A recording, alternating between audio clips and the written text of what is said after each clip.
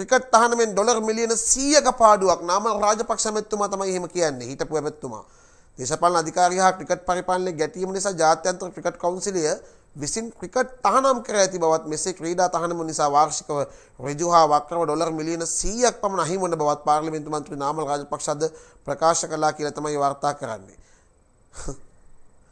යුපුන් අබේකෝල්ලට යුපුන් අබේකෝල්ලට තප්පර 10කට අඩුවෙන් දිනපුවම යුපුන් අබේකෝන් කියපු කතාව දැක්කම මට කවුරුත් අත හිත දුන්නේ නැහැ කියලා.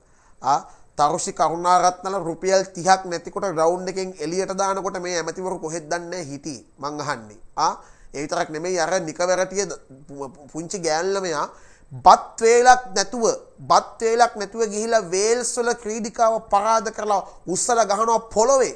මල්ලපොර ශූරිය මං අහන්නේ ඕස්ට්‍රේලියාවේ ශූරිය එතකොට කොහෙද දන්නේ මේ ඇමතිවරු හිටියේ? ඒ නිසා කලදුට්ටු කලට වල ඉහ ගන්ට ගෙන්ට එපා. බොරදියේ මාළුබා ගන්ට එපා.